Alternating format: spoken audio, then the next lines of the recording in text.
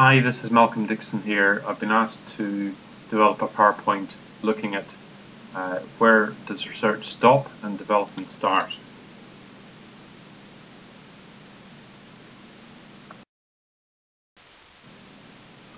I'll start off with a quotation. Be yourself, everyone else is taken. I'm saying this because who are we? I think everyone has a clear idea about what the CG centres are, um, but not so clear perhaps about who the CRPs are.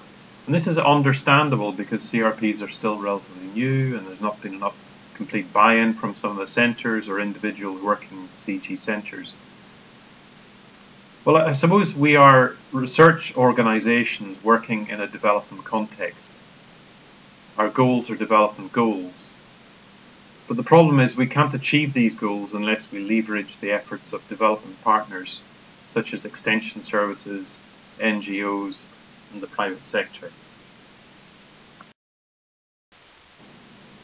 The question about uh, where research stops and development starts implies a, a research development continuum from pure research through to, through to applied research and development.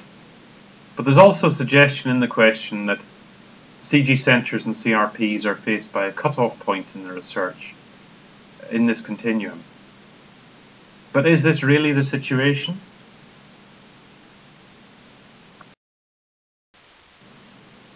Of course, we're not the only people doing research.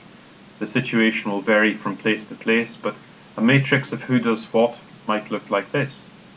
Universities concentrating on pure research, national research, uh, national research organisations and CG centres more focused on applied research, while the private sector and NGOs are more focused on development.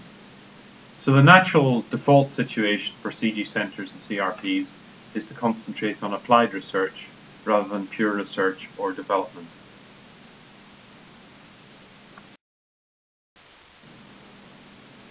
But how can we define our, our position more clearly?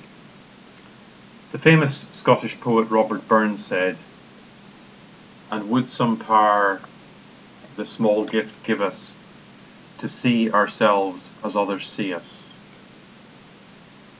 To define our role more clearly, we need to take into account how other stakeholders, such as farmers, NGOs, donors, national research organisations, and universities see us, as well as the, defining the research for development context in each country or value chain.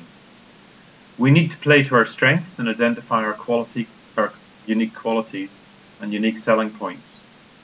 I'll highlight three main points. Firstly, we're scientists and believe that applying the scientific process will help to achieve development goals. This means we have a part to play in conducting and organising research, but also documenting and communicating the results. Secondly, we're not for profit. We can act as honest brokers. We can build trust and facilitate development processes. Thirdly, we can spread knowledge through our multifaceted networks from scientific journals to face-to-face -face meetings with farmers. This means we can inspire similar values in others.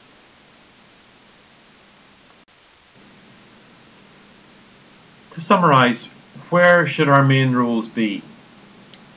Obviously in the main research cycle, illustrated here by the three boxes on top, um, we, can, we have a central role to play. We use value chain analysis to identify the research agenda, we plan and execute research, we write up the research and inform others of the results. But then once this moves on to the development phase, we also have a role to play as the science partner for more development orientated partners such as NGOs, extension organisations and the private sector. So I would say there's not really a clear line between research and development. We just need to decide exactly who is doing what in each value chain.